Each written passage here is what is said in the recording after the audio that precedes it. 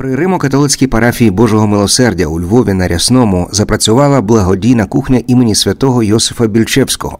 Щодня тут готують гарячий суп та печуть булки для самотніх осіб похилого віку, потребуючих та вимушених переселенців, які знайшли прихисток у Львові. Усе необхідне обладнання для кухні подарував меценат із Польщі, який у перші місяці повномасштабного вторгнення Росії годував завдяки ньому біженців з України, які масово шукали прихистку в братній країні. Настоятель парафії Божого милосердя отець Рафал Зборовський збудував поруч із парафіальним храмом відповідне приміщення, знайшов людей, які готові були б працювати в такому форматі. І сьогодні волонтерська католицька кухня годує потребуючих містян в районі Рясне та у центрі міста при базиліці Успіння Пресвятої Діви Марії.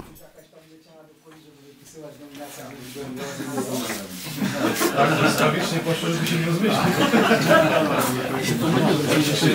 Słowa Jezusa Znajdujemy się w kuchni świętego Józefa Bilczewskiego, gdzie e, jest możliwość przygotowania 300 e, obidów w dzień.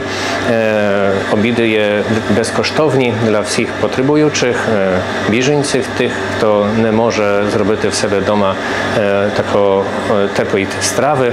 Także mamy mm, zawdzięki naszym sponsorom z Polski, mamy możliwość robić Yy, świeże bułki, mm, jak i także rozdajemy razem z, z supą.